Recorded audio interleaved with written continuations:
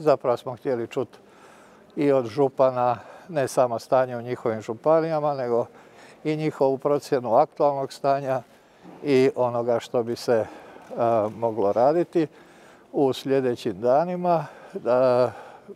do sutra će stožer pripremiti jedan novi set mjera sa kojima ćemo upoznati župane i taj set mjera bi trebao vrijediti negdje do Božića. Naravno da se radi o oštrim mjerama u odnosu na ove koje su sada i cilj nam je zapravo da vidimo i da čujemo njihovo mišljenje. Neki misle da su ove aktualne mjere dostatne, neki misle da nisu, međutim, kao što sam kazao i kao što smo rekli kad smo donijeli prošlu odluku, da ćemo ići ukoliko brojevi ne padaju, a ne padaju, i sa novim mjerama, naravno imajući u vidu da je ovo jedna duga bitka, da nije stvar u tjedan ili dva, već vjerojatno u jednom dužem razdoblju restrikcija koje ako bude sve išlo prema planu, a vjerojatno hoće i sa cijepivom bi trajale nekoliko mjeseci pa sve do šest mjeseci. Možete nam malo reći mjerama? Pa konkretno ne bih, jer o tome će se tek razgovarati, međutim to su mjere koje su usmjerene s jedne strane na pojedine segmente gospodarstva, prije svega ugostiteljstvo, zatim na druge resore, nešto manje kultura, moramo vidjeti i dijelove školstva.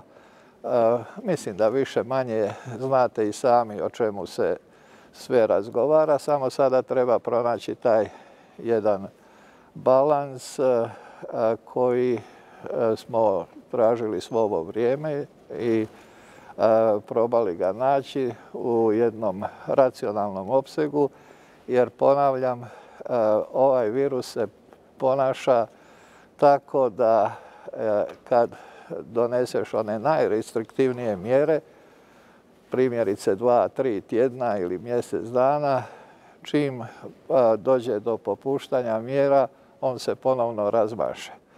Zbog toga nije poanta, barem mi tako mislimo, bila odmah ići u neke najstrože mjere, ne već one koje se donose da se postupno zaoštravaju. Ovo će sada biti sigurno najjače mjere do sada u ovoj drugoj fazi ili valu epidemije sa željom da se zaustavi to širenje, naravno sa ciljem da zdravstveni sustav bude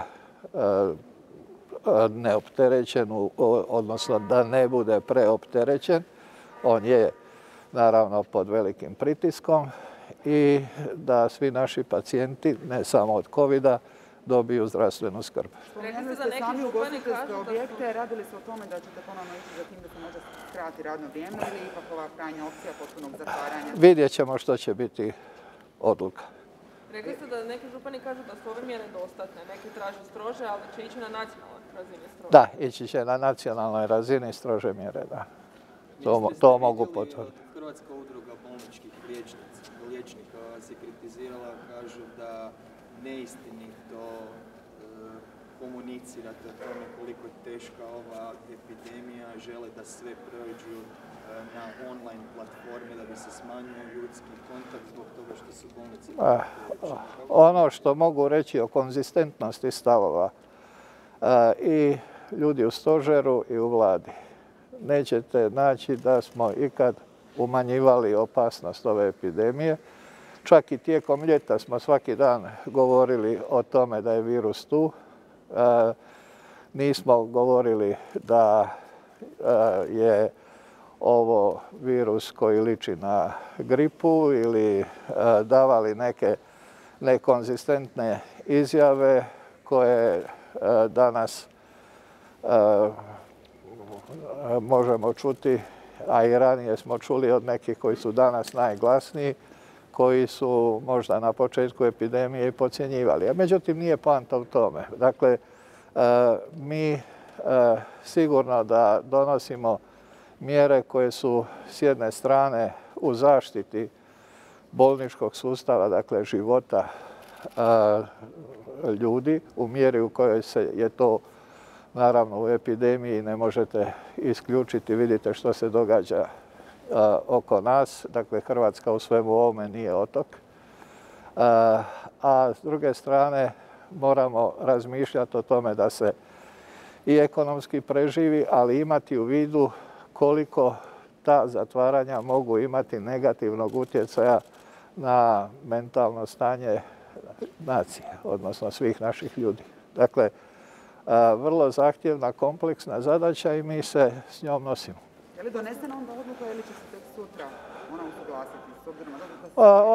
Mi ćemo dakle, pripremiti jedan draft i za uži kabinet vlade i za župane i vidjet ćemo i njihove neke reakcije, možda i neke primjedbe i onda ćemo donijeti odluku koja će stupiti na snagu vjerojatno s krajem ovog tjedna.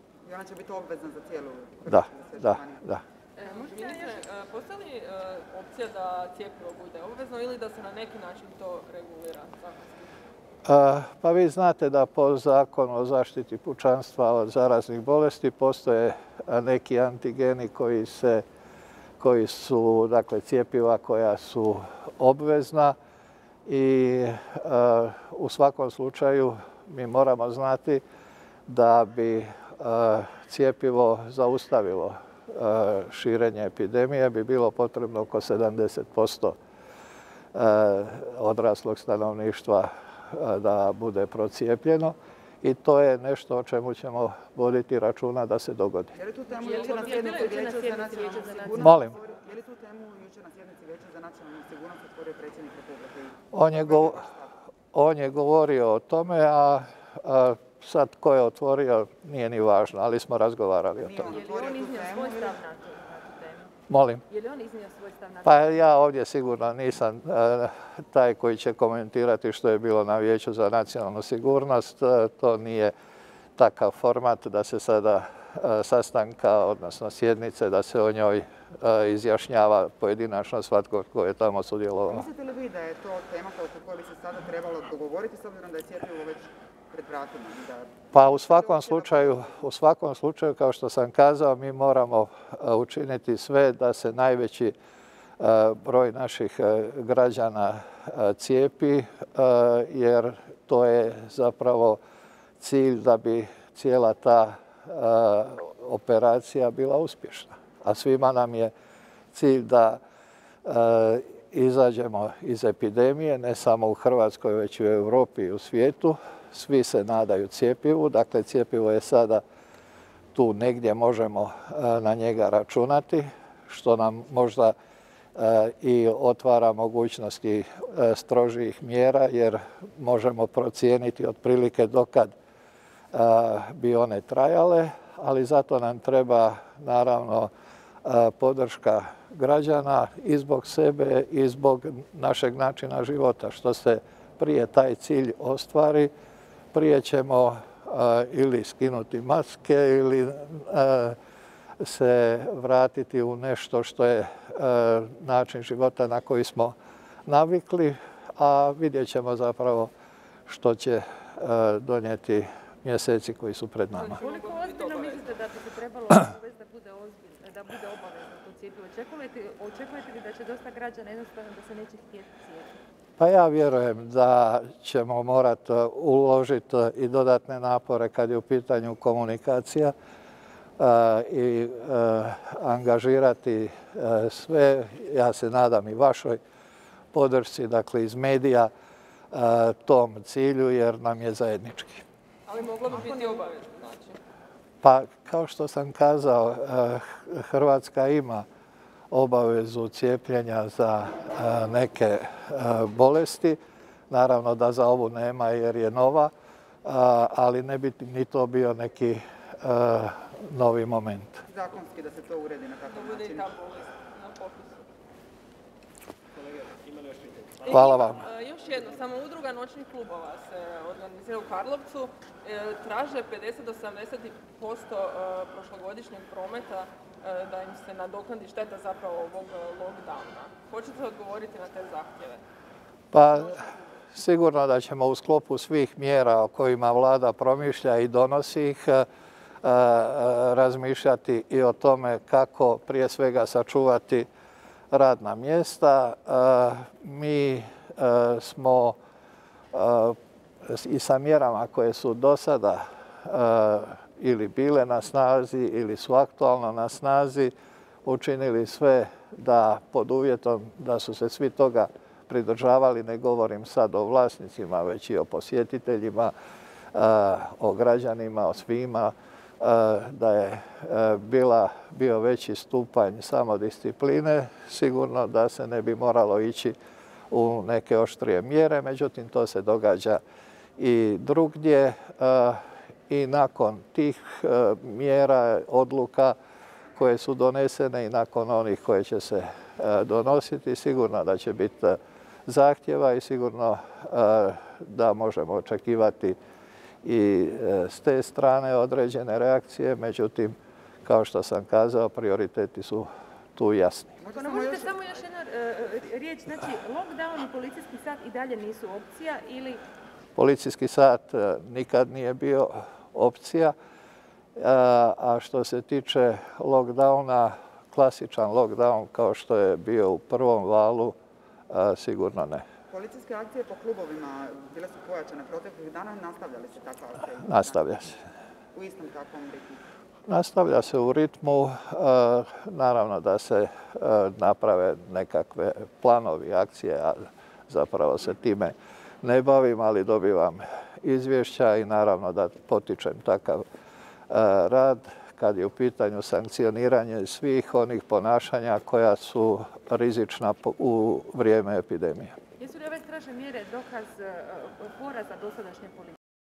Ne, ja mislim da je e, to činjenica da e, je, vi vidite i mjere koje su donesene u nekim drugim zemljama koje su bile zapravo pravi klasičan lockdown, pa nema nekakvih velikih pomaka. Dakle, mi moramo u sve to imati u vidu i činjenicu da su u ovom trenutku prema nalazima epidemiologa zapravo ta zatvorena mala okupljanja, druženja obiteljska, više obitelji i tome slično, možda u ovom trenutku, kao što rekoh, i e, izvor, e, najčešće izvor zaraze i brzine širenja, tako da to je još jedan argument e, da se ljudi ne, bez obzira na zimu, ne zatvaraju skroz u kuće. Evo, hvala.